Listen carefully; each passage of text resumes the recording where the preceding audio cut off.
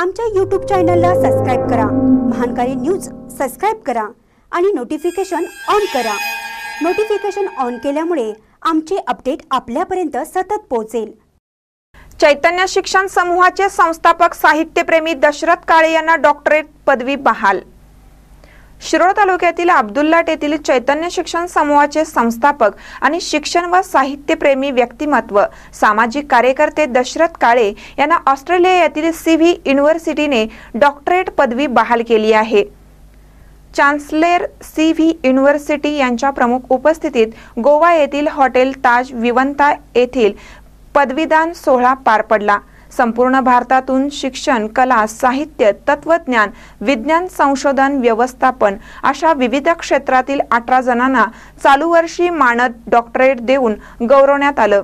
सामाजिक कार्यकर्ते साहित्यप्रेमी दशरथ काळे हे गेली पंचवीस वर्ष शिक्षण साहित्य आणि संस्कृती क्षेत्रात कार्यरत असून प्रतिकूल परिस्थितीवर मात करीत त्यांनी चैतन्य शिक्षण समूहाच्या माध्यमातून संपूर्ण महाराष्ट्रात वेगळी ओळख निर्माण केली आहे.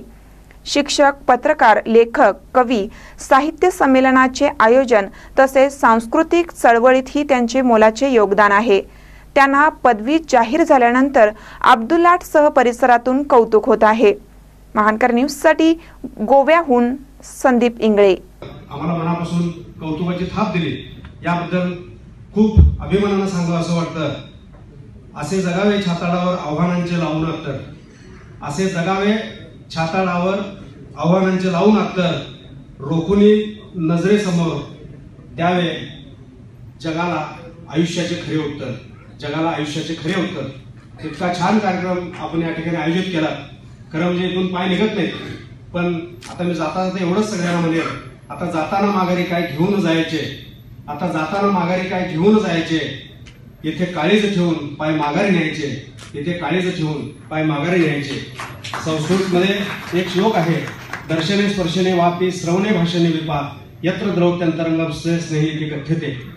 म्हणजे चांगल्या व्यक्तींच्या दर्शनामुळं चांगल्या लोकांच्या स्पर्शामुळं आणि चांगले शब्द कानावर पडल्यामुळं जिथं आपलं हृदय द्रवतं त्याला खऱ्या अर्थानं स्नेह म्हणतात.